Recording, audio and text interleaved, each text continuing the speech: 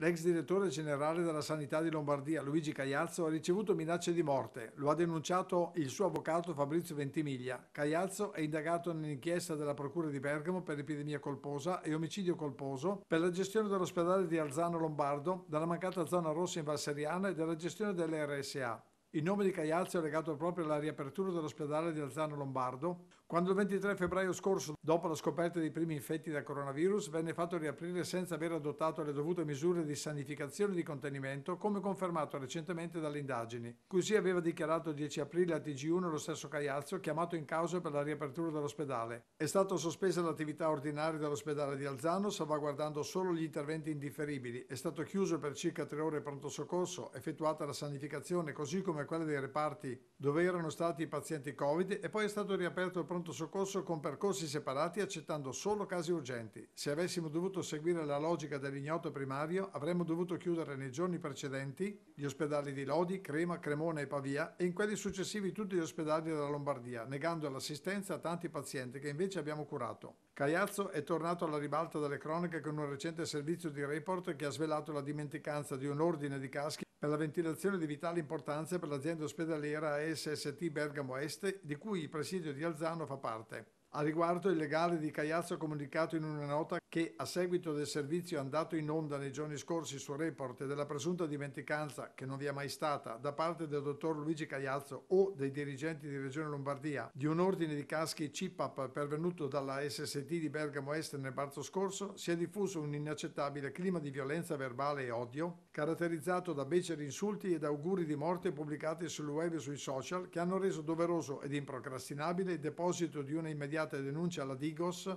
per accertare ogni responsabilità identificando gli autori delle minacce e degli insulti. Il legale di Cagliazzo ha poi continuato nella sua nota affermando di aver ricevuto espresso mandato di perseguire chiunque diffonderà o continuerà a diffondere false notizie sugli accadimenti della primavera 2020.